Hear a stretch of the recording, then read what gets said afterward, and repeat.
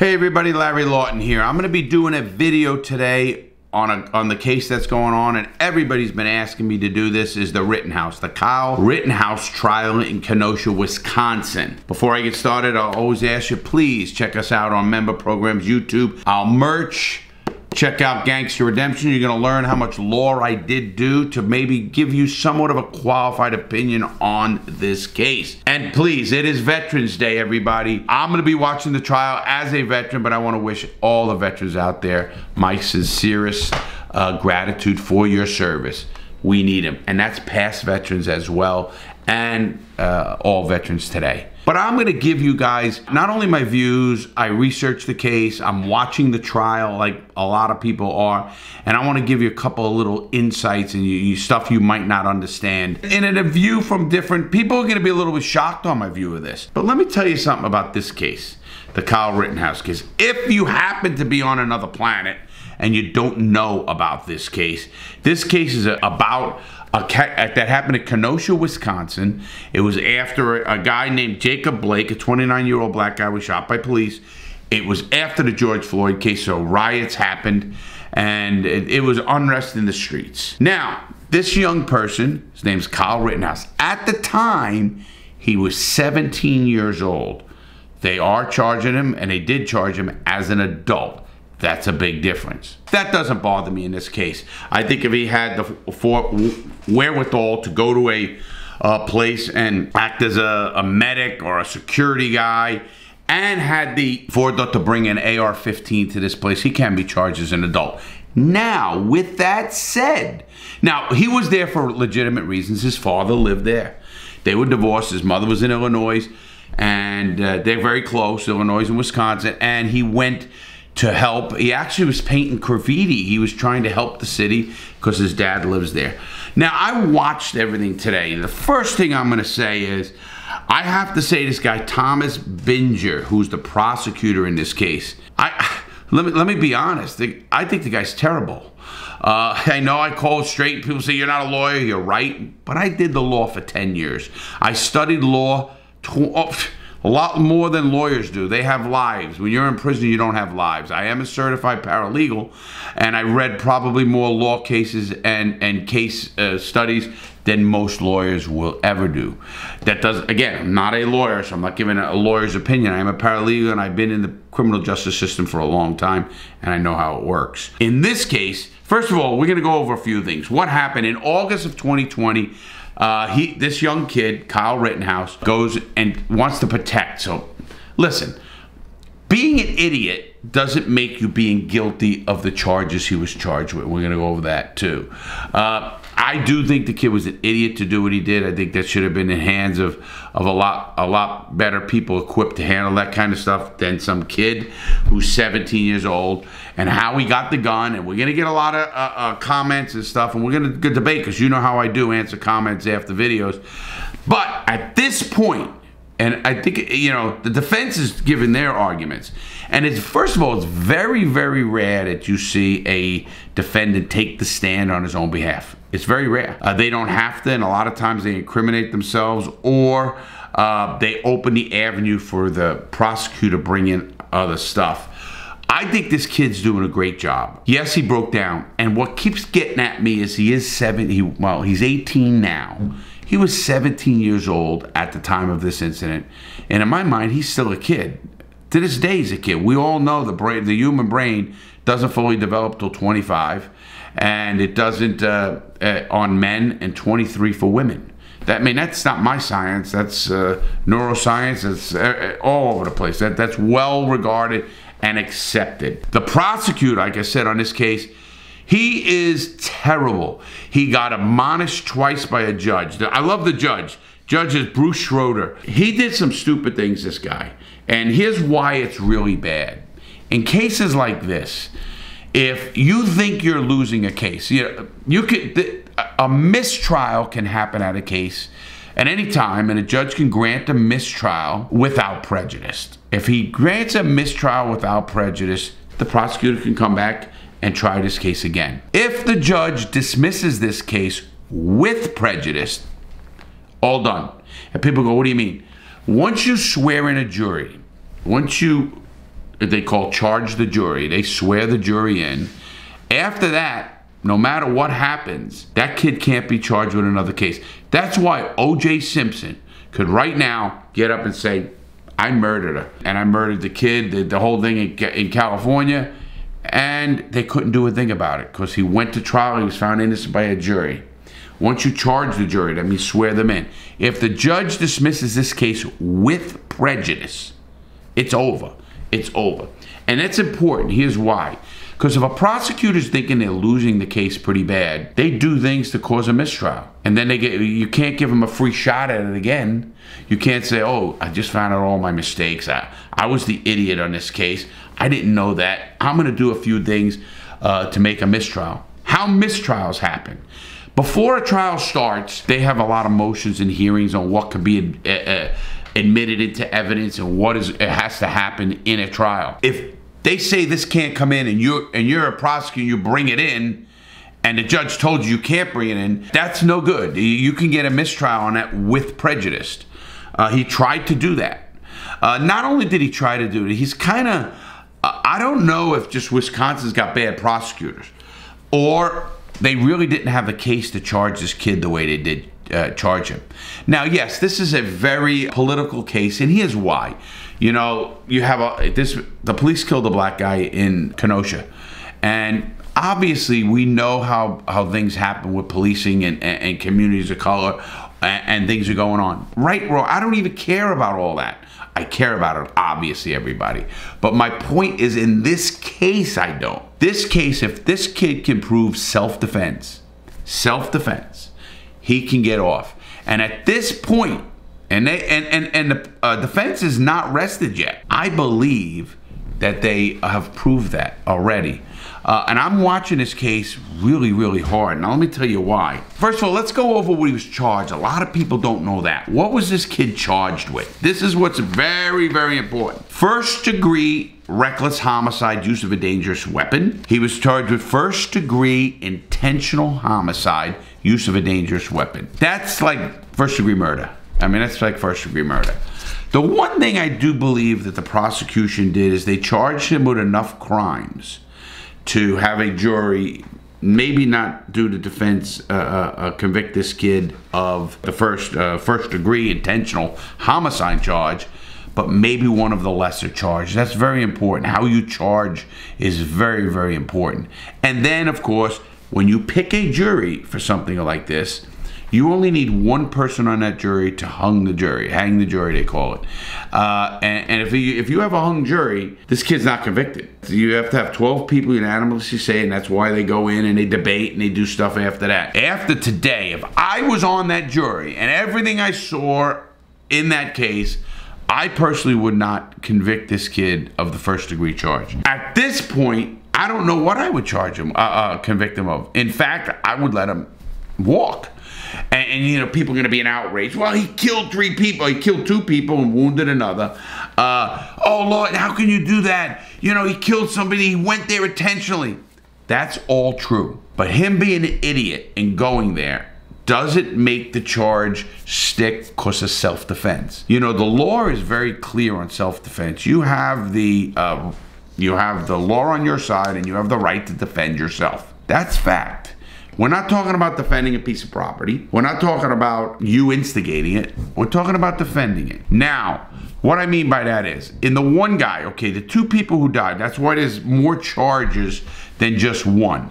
And that's always happens in case you'll have like, uh, the guy will have first degree murder two times because he killed two people in some states. And then he gets convicted on both and, you know, he can get two life sentences.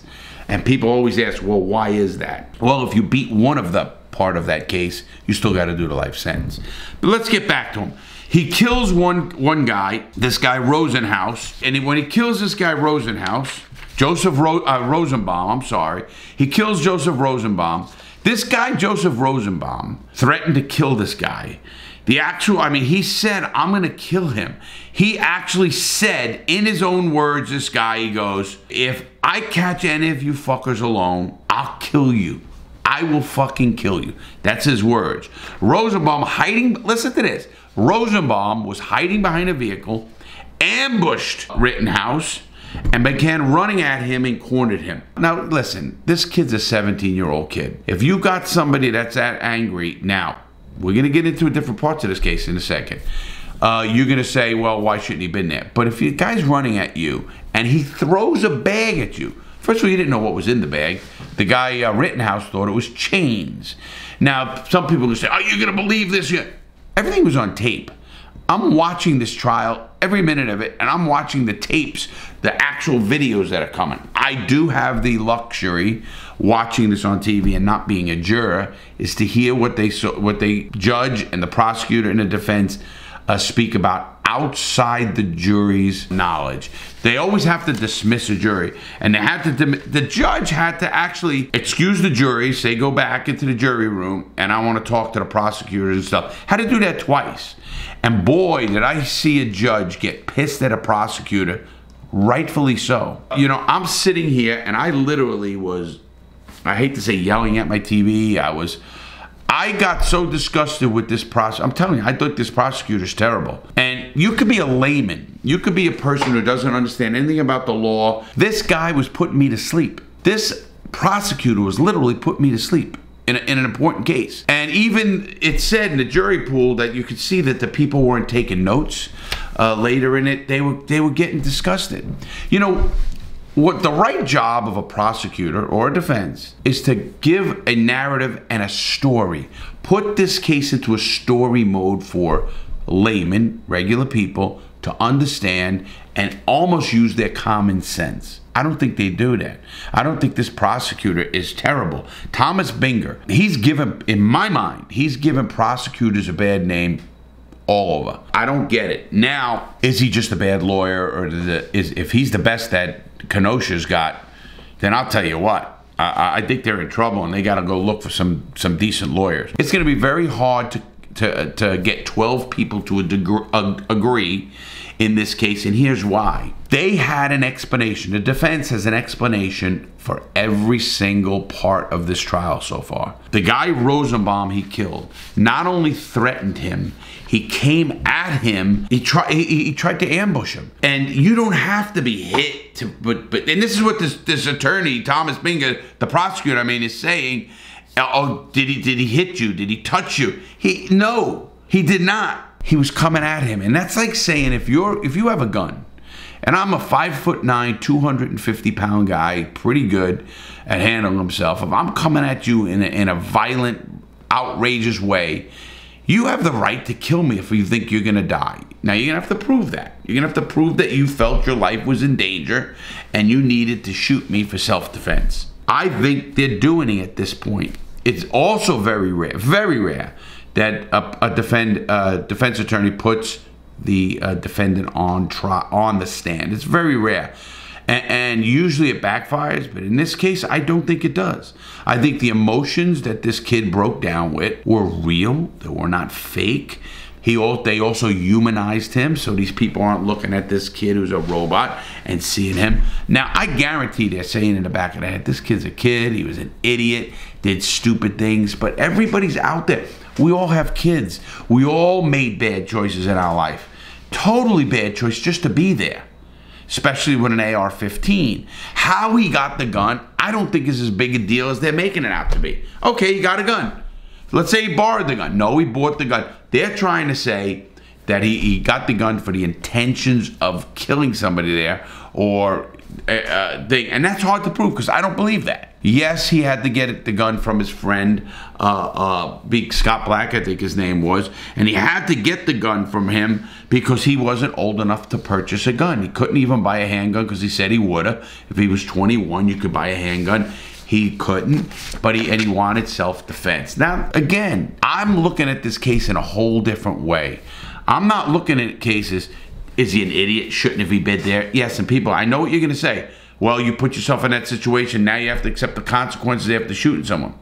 No, Rosenbaum, and, and please don't think for one second I'm, I'm like not caring about people who died in this situation. Yes, I am caring deeply. A guy named Anthony Huber, 26, died. Rosenbaum, he died. And a guy named Grosskreutz, he was wounded. Even Grosskreutz, on the stand, said that I pointed the gun, uh, my pistol, at Rittenhouse's head. He got wounded. He pointed the pistol at his head. Finally, he saw Grossenberg lunge at him and point a pistol at his head. So Rittenhouse shot him, he testified. Grossenberg was wounded. He admitted that on the stand. He admitted it. Then you had when Rosenbaum was shot, uh, tried to grab.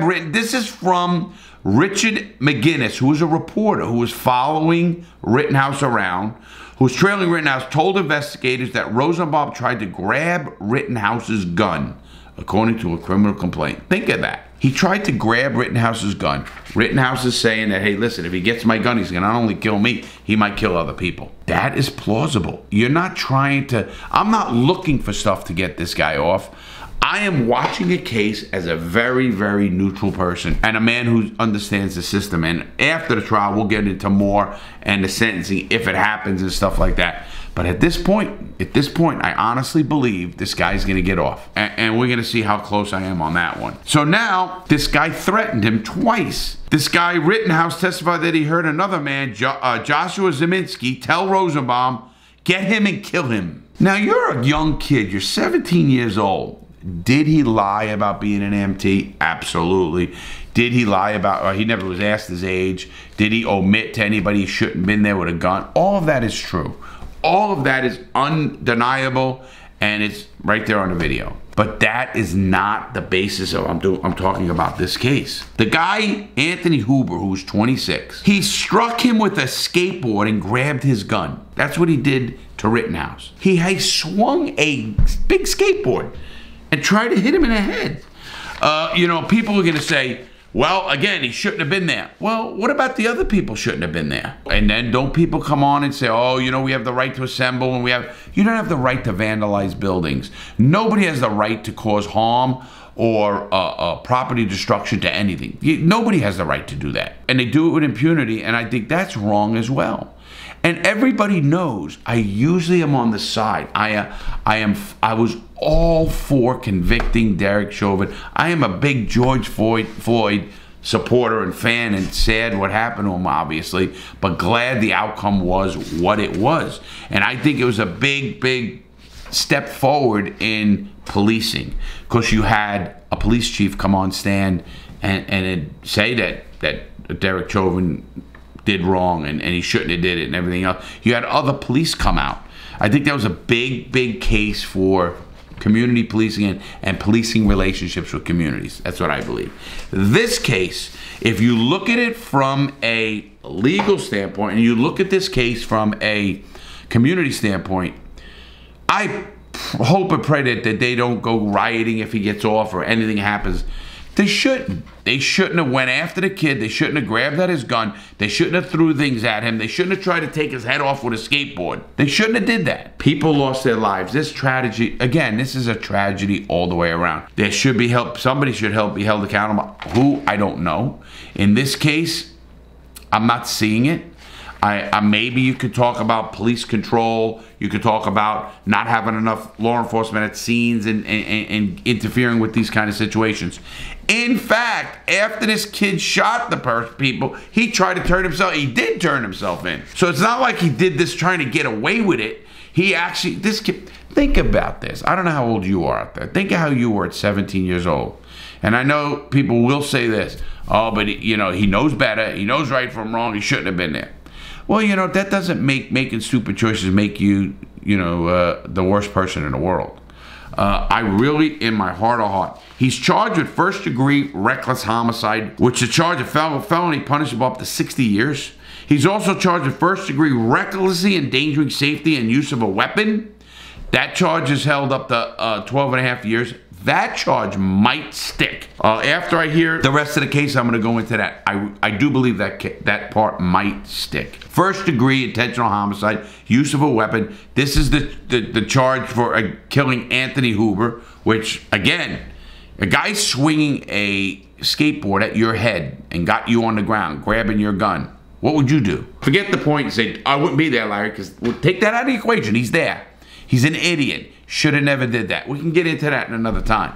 Just think about the self-defense on that. Yeah, I think of this in this case. I could be out somewhere and be in, in the wrong place because I was an idiot to go there. If somebody comes at me and I have to take them out or kill them or whatever it is to save my life, it's to happen. I think anybody would. So, and then attempted first degree intentional homicide, use of a dangerous weapon, and that's the case of Gaige Grosskreutz. And that's the guy admitted he he was a paramedic. He pointed a pistol at his head. Now, he admitted to that, pointing his gun at Grossman and firing a single round. The, the charge carries maximum 60 years. Again, don't point the gun at me and not expect to be shot or, or uh, me defend myself. First degree, recklessly endangering safety use of a weapon again. Possession of a dangerous weapon by a person under 18, probably guaranteed. Now that's a misdemeanor, punishable up to nine months behind bars. There's no doubt in my mind that's a cut and dry case uh, there. Failure to comply with emergency order for state or local government, and that's breaking curfew. The judge threw that out. Uh, that's gone already. So, in this case, at this point in this case, I had to comment today. I'll be honest, in the beginning, before I heard everything that I'm hearing, I thought the kid was going to get convicted of murder, and I think he was, you know, an idiot to do what he did, and he should be held accountable. And he killed the, killed these people just to kill these people. That's what I really thought. I listen to media reports. I listen to a lot of stuff. That's why we should never rush to judgment so quick on a case like this because we don't know the details until they come out. Obviously, in this case, seeing what I'm seeing and seeing the, I'm sorry, the bad lawyering, the bad prosecutor, and his, this guy's name is Thomas Binger. I'm sorry, Thomas. Man, I you put me to sleep. I don't know what, I don't know where these guys, it really reminded, you know what it reminded me of everybody? Now, a lot of people aren't going to understand this. If you are, and you, you were around back when this happened, in the O.J. Simpson murder trial, when Marcia Clark did the, the if it doesn't fit, you got to acquit, that was Johnnie Cochran. By them bringing that in and and the, the stuff like that, they had such bad, in my mind, bad prosecutors again had great defense attorneys. These defense attorneys seem to be pretty sharp. I think that's important because, you know, I always say that it should be a level playing field. I don't know if this is a level playing field. And I know people who lost their loved ones in this situation are going to want justice. But let's not make it false justice. Let's not just put a head on a platter for the sake of, of, of feeling like we, we uh, we we need a martyr. We need somebody to what do you call it? Uh, we need somebody to you know we need a pound of flesh. Well, let's not just give the pound of flesh to this kid Rittenhouse. Listen, I'm not a fan of Kyle Rittenhouse either. I really am not. I think the kid is was a wannabe cop or a wannabe paramedic or a wannabe person in even maybe a wannabe militia guy. I don't know. I think getting there and maybe painting the stuff and figuring great great community service. You know, I always want people to help out like that. I think bringing an AR-15 to a protest and a unrest in the streets is stupid at the minimum. Criminal? Listen, the law states you can do that. The United States uh, says you can do that. Do we maybe need to change laws? Is the Second Amendment too uh, open? I don't know. I'm not going to get into that. I'm a believer in the Constitution and especially the, the, the Bill of Rights, the first 10. To me, I told you, I think every cop should have to carry them in their pocket. I really do, because they violate them so much. Uh, so on this case, I'm gonna say it now, and I'm gonna do another video. And, I, and if I'm wrong, you guys know I'll, I'll say it like it is as well. I do believe he's not he's not gonna get convicted on any of the serious serious charges. I really do at this point because I don't listen. How it goes in, in trials is, you know, voir dire is when you pick a jury and you, and you know what the stuff is going to be. That's why you have to know what's allowed, what can be come in or not. And you want to pick a jury that is obviously sympathetic or you believe are smart enough to look uh, read between the lines. I think picking the jury was the most important part and I didn't get to see that. I don't think anybody did. I think picking the jury and I think reading the jury is the most important things you can do in any trial. And I think you're going to find one person, I don't care if it's one person who hangs, hangs this jury. It's either going to be a hung jury, I could see that, or it's going to be, in my mind, it's going to be a hung jury or a acquittal. We're going to see where I'm at. I love doing these. Thank you for the comments. I'm glad you like my perspective. I do say it like it is, but watching what I'm watching, I, hate to, uh, I hate, I don't hate it. it. It is my belief, and I am a supporter of the trial system in this country, I do believe this young man will be acquitted, and rightfully so. And I'll stand by that with anybody. I don't believe that the judge is going to dismiss this case with prejudice. I don't think he's going to uh, call a mistrial with prejudice. I don't believe that. I think it's too big of a case for him to do that. I think he might uh, uh, admonish the jury to not take this or this or anything that comes out of that. And here, when they charge this jury to go back in the room, the jury instructions are going to be pivotal. Now, how that works, just quickly, is one side puts what they want, the other party puts what they want, and then the judge uh, does what he wants. With that said, everybody, let's watch the case. Let's see what happens. They're doing it on Veterans Day. Today is Veterans Day, everybody. Veterans, again, thank you for your service. Without our veterans, you know, uh, we wouldn't be a free country. We wouldn't be the country we are, period. They put their life, body, and soul on the line for our liberty. Don't ever forget that, please. Thank you, everybody. Please make good choices and please comment below, share, and uh, put it in your playlist. Have a great day, everyone. Please make good choices.